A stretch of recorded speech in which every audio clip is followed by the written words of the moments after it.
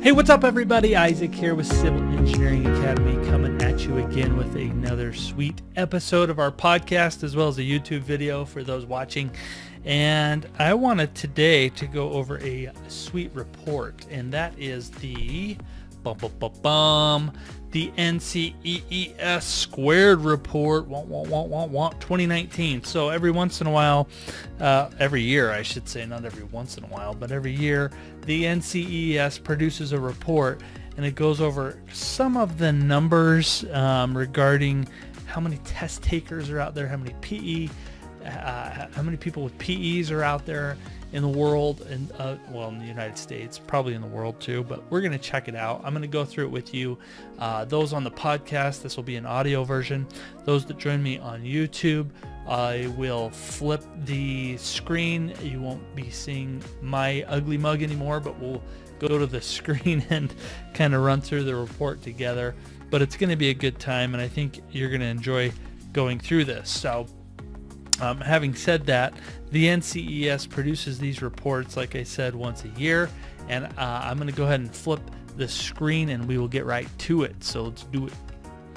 All right, so just checking this out. If you go to NCEES, uh, you can go grab this report. Just go search for the squared report or head to ncees.org and go grab this. Anyway, I'm headed there right now and you just click on the report brings up a nice little PDF I think one of the beauties of this report is that it's actually like really graphically you know visually ap- appealing. It's really nice looking.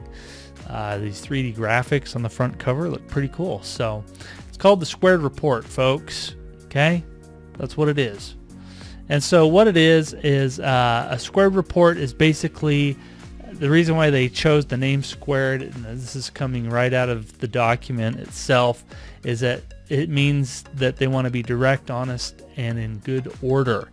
The mission of the NCEES is to advance licensure for engineering, uh, for surveying, and in order to safeguard health and well-being and safety of the public. So Squared is one way that we do that by providing a straightforward account of their you know, basically their numbers for the fiscal year. So this is uh, data that they put together, uh, usually lags. So this is basically from, what does this say? All of the information presented in this report, uh, which began October 1st, 2018 and ended September 30th, 2019. So they call it the 2019 report. It comes out in 2020. Basically covers what happened through the end of 2018 up to 2019, uh, uh, September of 2019.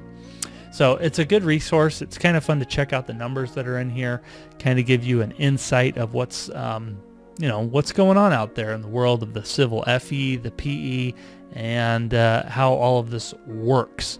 So who we are. The NCEES is uh, basically a nonprofit organization. It's the National Council of Examiners for Engineering and Surveying, and their whole purpose is to advance, licensure for engineers and surveyors. Okay, that's their their whole goal.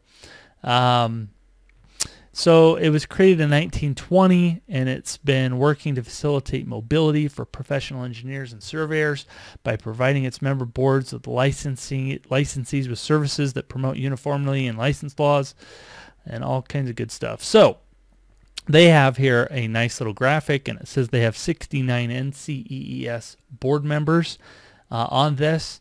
And uh, what's interesting is that uh, some board members represent only engineering or surveying. The majority of them represent both, and that the boards are multi-professional and they regulate additional professions. So, such as like architecture.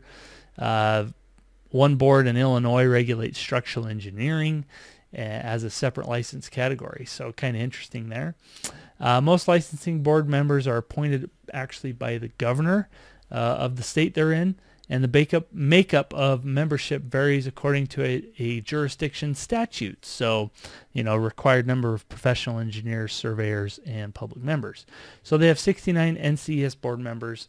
They have one that's a structural only, 11 are engineering only, 13 surveying only, 16 multi-professional, and 28 joint engineering, surveying, And then they have that breaking, broken up into whether you live in the western area of the U.S., the southern, central, or northeast. So kind of interesting there. There's actually 603 licensing board members. Uh, of those, 255 have the PE only. 141 have the PS only, which is the survey license. 93 are public members. 74 have other licenses of a different variety of professional licenses. And 40 of those have a dual license of PE and PS. So the whole board is ma- made up of a variety of people. It's not just engineers there. I thought that was interesting. Uh, talking about the exams next, going through what they have here. In order to develop the exams, they are um, basically developed by engineers and surveyors who volunteer to write and evaluate the problems that are found in the exams. So they had a total of 762 volunteers, and they worked on these exams um, in 49 meetings. It's a lot of meetings uh, representing a total of almost 23,000 hours spent developing exam content for the eight fundamentals and 26 professional exam disciplines. So 49 meetings, 762 volunteers, and almost 23,000 hours spent. There was, uh, I guess we'll just call it in 2019, there was a total of almost 52,000 FE exam takers. There was 100, almost 132,000 total engineering bachelor degrees awarded in 2018, which is kind of fascinating to me. And if you want to break that down further, we can. They go into talking about that the, um, let's look at over here, transition from pencil and paper to CBT. So for the FE exam, the makeup here is that they had 51,814 FE test takers in 2019, which is kind of surprising to me. Um, you know, you had 132,000 engineering bachelor's degrees awarded and 52, almost to 52,000 FE test takers. So, um, a lot of schools that are ABET accredited usually say that you cannot graduate without getting the FE done. So some schools, I guess, do not require that. Anyway, that was all CBT, so for the FE. For the PE exam, there was actually 904 computer-based PE exams issued this round and almost 30,000 pencil-based, pencil and paper. So the majority of those are obviously the civil exams. So a total of 30,521 total PE test takers. And they keep expanding the disciplines that offer PE license. I th- I think this started with civil engineering as being the majority of PE licenses, and it's definitely a must for civil engineers. But they, you know, you expand into mechanical, and now they got electrical disciplines and fire systems and all kinds of PE licenses that we'll talk about here shortly. So I thought that was kind of interesting. Uh, pencil and paper exams for the SE exam, there was 2,400 people. That's actually a lot less than I thought would be taking the SE exam, but there was exactly 2,400 people that took the SE exam. Pretty interesting stuff. Uh, a conversion schedule. So if you are curious about going computer-based testing, because that is the way things are going these days. Uh, in 2020, they moved the PE fire protection over. 2020, they also moved the industrial and systems, the mechanical HVAC and refrigeration, the mechanical machine design and materials, the mechanical thermal fluid systems, and that was all converted to CBT in 2020. And then in 2021, you've got the PE agricultural that is moving over the electrical and computer for computer engineering, and then you got uh, PE electrical and computer electronics, controls and communications, and the PE electrical and computer power. That's all moving to computer-based testing in 2021. And then also in 2021, PE mining and mineral processing. Whew. It's a lot of PE exams, a lot of different disciplines there. 2022, you get another conversion of PE exam test takers from architectural to control system to metallurgical to naval and those go CBT in 2022.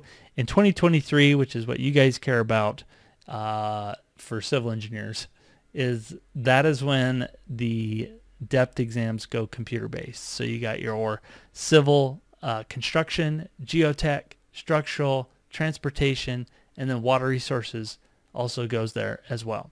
And then in 2024, they save at the very end the structural SE exam. So there you go.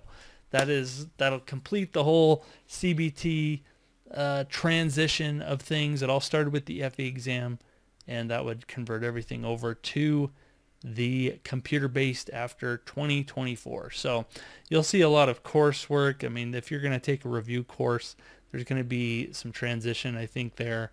Uh, I'm sure they're going to come up with a new spec, and I'm sure they're going to come up with a new reference manual that will be the only thing that you can take with you to the exam because they're already doing that with the other exams. So something to look forward to. Something to look forward to. Let's take a look at the FE pass rates next. So if you are an FE test taker, um, it's designed for people that are in school or recent graduates.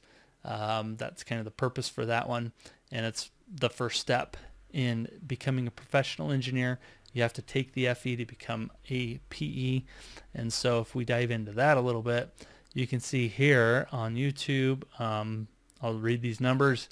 Uh, chemical engineers, there was almost 2,500 first-time test takers and pass rate of 75%. Pretty good, pretty good. Volume of 235. Repeat takers drops down to 40%. Okay.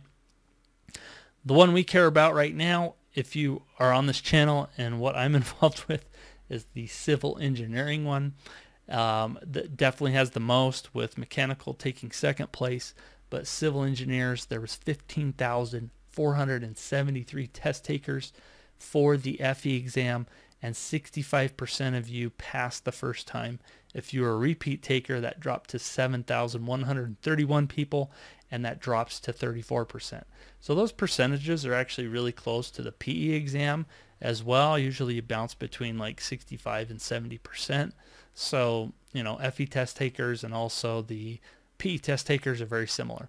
They go further on this report and break this down to those that came from an ABET accredited college with, you know, an ABET bachelor's degree to find out what your percentage was compared to other examinees that did not have that.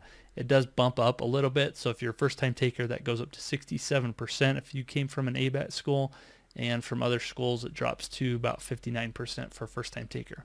So pretty interesting stuff. Um, anyway, go check that out. Uh, let's. This one's very interesting. They talk about the top 10 universities by FE exam volume. So they went through and they looked at all the universities who's sending the most students to take the FE exam. The number one college that is sending people to get to get the FE exam done is Missouri University of Science and Technology with 683 people. Number 2 is Texas A&M University with 550 people. And then you can just go down the list. There's Montana State, University of Colorado Boulder, California State Polytech University, North Carolina State University, Penn State, Washington State, University of Nevada, and lastly, the U.S. Military Academy. That is your top 10 colleges sending people to get the FE done. Kind of interesting. Um, and then they also break down, and this is very fascinating. Uh, if I were to ask you guys what's the most popular time to take the FE exam, what would you say? Um, you know, I would say something like, well, it's it would follow the same thing as the PE exam is probably what it would do. So it'd be like spring and fall is probably what I think. But the truth is, is if you dive into the numbers based on the report, you get 21 per, about 22% of people taking it in the October to December window. This is broken up into four windows, basically once per quarter, right? Or in quarters, not once per quarter, but in quarters. So well, I'm going to skip that one. Let's start in January. So in January to March, you get 20 about 26% of you are taking the exam then. In April to June, it jumps up to 30 a little over 32%. In July to September, it drops all the way down to 20%. And then October to December, it's about 22%. So the highest um, percentage of people taking the exam is actually falling into the April to June timeframe. And I really think the reason for that is because you are wrapping up school. A lot of people have either fewer classes in the summertime or they don't have any classes at all. So a lot of examinees, they're probably, a lot of students are probably thinking, I can cram and I can study for this in the summertime because I don't have any schoolwork. I don't have anything uh, pressing for my time. Or if I do, I only have like one or two classes, which is better than taking 18 credit hours or whatever during the normal, normal semester. So Anyway, April to June is the most popular time to take the FE exam. Pretty interesting. Alrighty, let's jump to the good stuff now. So we're going to look at PE pass rates. So with PE pass rates, let's dive into this. This is some of the numbers I want to break down for you. Overall test takers, I'm not going to read all these for you because you're here for civil engineering. Uh, for civil engineering, for pass rates. If you took the construction exam for your depth exam, your first time taker, there was 1,572 people that took it in 2019, and they, as a first time taker, the pass rate was 55%. 55%. If you're a repeat taker, there was 1,400 people that were a repeat taker, and it dropped to 34%. What's that all about? Well, first thing I think is if if you're struggling with this and you need a review course, you need to go check out the course we developed, which is the Ultimate Civil PE Review Program. Go check that out at civilpereviewcourse.com. We can help you get there. But I think a lot of people that take the construction depth exam, uh, it's deceivingly hard because a lot of people think the construction topic as a whole is relatively easy to understand. And a lot of people do it because it's not super discipline specific. But the truth is, is it it goes into every single like discipline, and a lot of a lot of problems are very hard because I want, I'm not going to say they're tricky, but they're worded difficult. Um, they're just harder problem to solve, a little more wordy. Uh, so anyway, you got to watch out for that. A lot of people think that construction depth exam is the easiest one to take, and it's not. So it's not the most popular one as I'll go through this, but it does have the lowest percentage for people that passed it the first time. So just be aware of that. Next one up here is geotech. If you were a geotech depth taker, uh, there was 1,048 people that took that pass rate of 63% for first time takers. If you're a repeat taker, there were 747 of you, and it dropped all the way down to 34%. If you took civil structural, there was 2,978 people. That was the second most popular, no, third most popular exam. Uh, so with structural, your first time test taker, there was a 62% pass rate. And if a, you were a repeat taker, it dropped down to 43%. Transportation, first time test taker, there was 3,131 people and a pass rate of 63% for first time test taker and then if you're a repeat taker, it dropped all the way down to 41%. And then if you took water resources, this is the most popular exam that was taken in 2019. Uh, and would you guys ever guess that? I wouldn't have guessed that. I would have guessed transportation. Typically, that's really high. Um, a lot of people like transportation just because um, a lot of the answers come right out of the standards that you're bringing with you. And so um, that's why I think that's a very popular exam. But uh, there's also a lot of transportation engineers in general. So anyway, water resources is a good one to take too because it doesn't require any standards to take. So you're not going to have to bring in volumes of books. Anyway, that is the most popular exam at 3,241 people for first-time test takers. And the pass rate was 66%, which is the best pass rate for all of those. And as a repeat taker, it dropped down to 41%. So what are the takeaways here?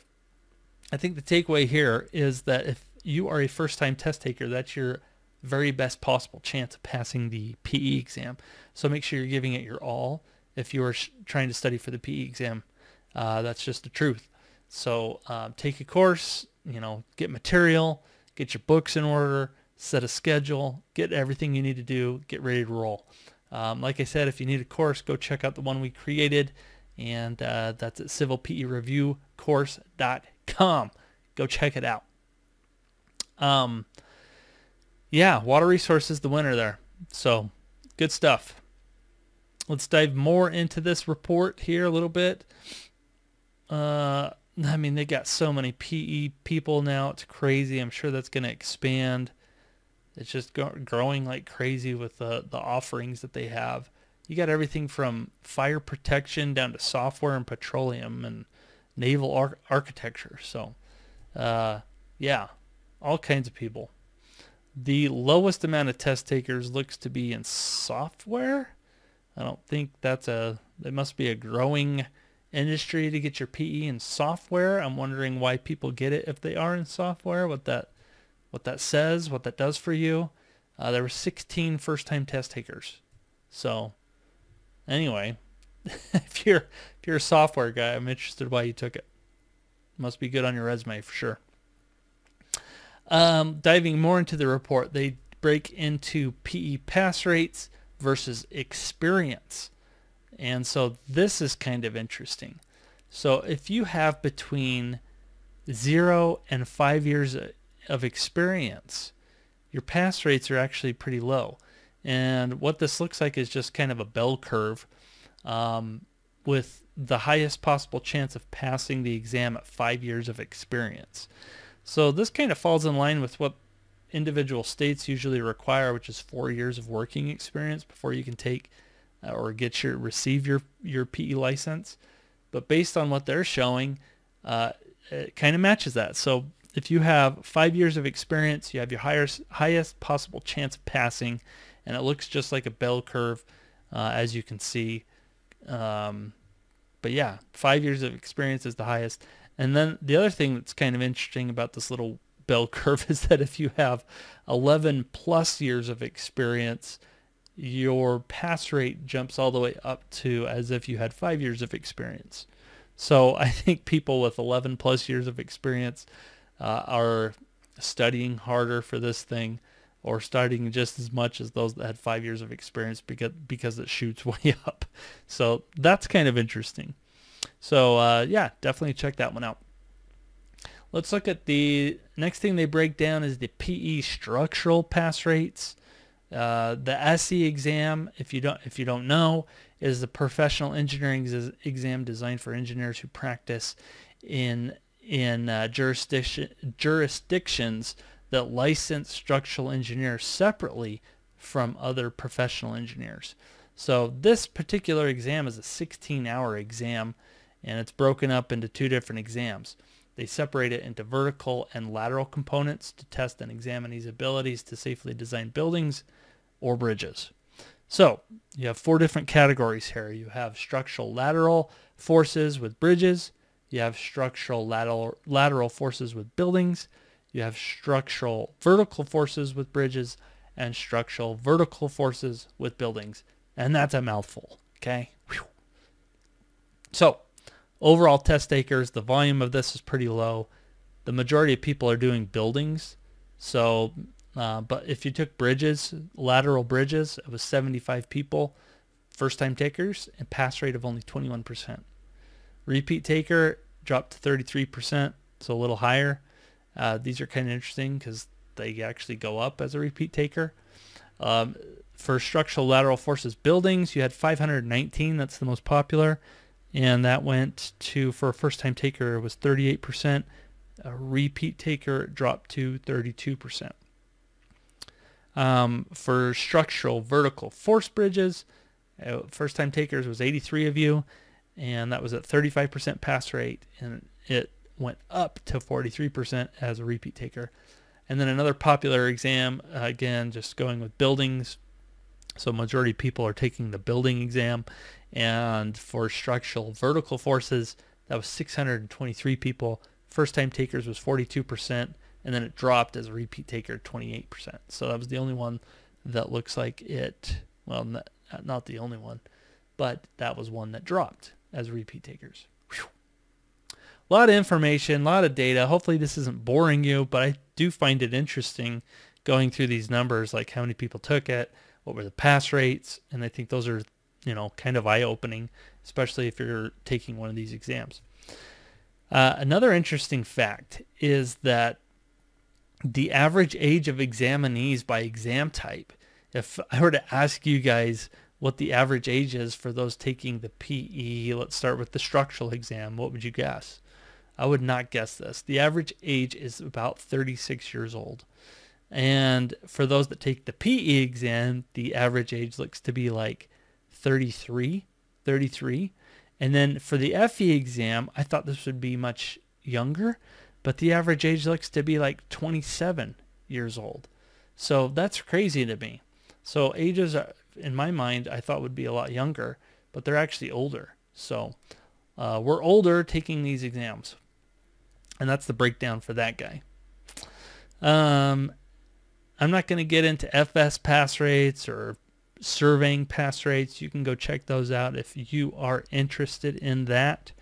Uh, they break down a lot of the information for uh, people that want a NCEES record and have your PE license um, and trying to get licenses in other states. They talk about that. Uh, talking about more mobility for licensure. Um, they're trying to advance mobility by perform, performing more uh, uniform national exams, model laws and rules. And so with their records program, they're trying to do a better job at that. And they kind of break down the number of transmittables per record holder. So that's kind of interesting. Go check that out. Uh, another interesting fact, I think, is uh, they break down the countries by number of credentials uh, per applicant. Okay, the top 10. So these are the different uh, countries outside of the U.S. of students that are trying to take that are taking the PE exam and becoming a licensed engineer. So administered nationally, internationally, I mean, there was 2,334 FE exam test takers. That's pretty cool. And there was 570 FE exam test takers. So that's very interesting to me. I know a lot of people in our audience um, are international, and so they're always questioning like how they register for this exam or if their experience or the college that they attended can count towards this, and it can't. So just breaking it down, they say that the U.S. licensing boards generally require licensed candidates with degrees from non-ABET accredited programs to have their education evaluated. So you do have to go through that when you're applying. Most of these candidates are from other countries and the credential evaluation basically provides a valuable service to help boards ensure that candidates are qualified academically for licensure. They're not just going to let anybody take this exam. And so they got to compare what you've done if you are international to what like an ABET school uh, does and see if those things kind of match up. So it also states that as a number as the number of ABET accredited programs outside the U.S. has increased in recent years, so has interest in these exams. And so currently this exam, uh, they have agreements with foreign entities in Canada, Egypt, uh, the Emirate of Sharjah, I think that's how you say it, Japan, Qatar, Saudi Arabia, South Korea, Taiwan, Turkey. That's crazy. It's all over the place now. So your top 10 countries, here you go. Top 10 countries is India, 475 people, Egypt, 246 people, China, 225 people, and then it goes South Korea, Iran, uh, Philippines, um, United States. I guess this is people with international degrees here in the U.S. Um, Canada, Iraq, and Jordan. So that's your top 10. Uh, pretty interesting stuff. I think that's crazy. That's cool. So the whole thing is kind of getting a little more international as well. Uh, licensure in general. If I were to say where you're from and what state you're from, and could you tell me how many PE licenses you had there or how many engineers you have there? So they break all this down in, in the report. I'm not going to dive into all 50 states. I'll just hit some of the highlights. I think you can dive in there and check it out yourself. Just go read the report. Um, it looks to me, just looking through this real quick, do, do, do, do, do, the highest number of engineers, at least that I can see, maybe I'm blind here, uh, is Texas. You've got 38,237 resident, 20,062 non-resident in Texas. Wow, a lot of engineers there. The lowest, uh, what's the lowest? I don't know. Uh, New Mexico, North Dakota. Um, no, yeah, North Dakota. I don't know. You go read the report. You guys go read the report. Anyway, it breaks down engineers, surveyors, and engineers and surveyors with a dual license. They track down how many people are in your state that are engineers, how many are resident and non-resident. That's a lot of interesting stats. They also break down engineering licenses by year. So it's grown. In 1937, there was 40 almost 47,000 engineering licenses. And we're going to jump all the way to let's say year 2000, there were 669,000 licenses. Wow. And then they track all the way up to 2004. There were 750,000 licenses in 2004 and it just continues to grow. Whew. Crazy. They break up surveying licenses as well. And guys, that's pretty much the whole report. So it's a it's a really neat report. Gives a lot of data. Something that you should definitely go check out. Hopefully this was insightful to you as it was for me.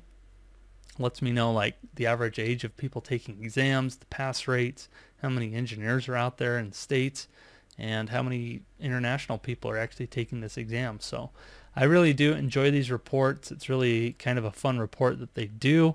Uh, like I said, it's kind of graphically, uh, you know, visually pleasing to the eye. It's kind of a fun report, but a lot of data and a, and a lot of good information. So hopefully this was insightful to you as it was for me.